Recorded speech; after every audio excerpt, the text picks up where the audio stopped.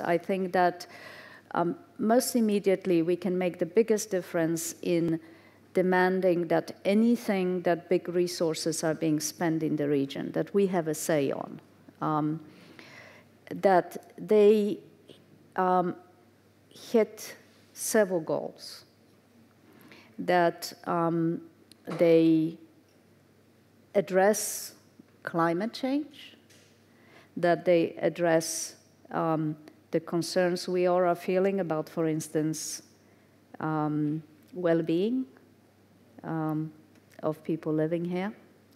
Um, and that includes things on the forefront um, of everybody's mind, such as mental health, and that it is wearing the ancestors' hat. We can keep asking those questions. I had an interesting conversation about um, whether it's important to declare a climate emergency or not. There are many arguments for and against. But the main thing that the, those who are proponents of it say, well, that gives you a platform of questioning. Um, you know, okay, you're proposing this project, how does it address the climate emergency? Similarly, we should ask that question, how is it not business as usual? So how are you trying to um, break through the old silos through this project?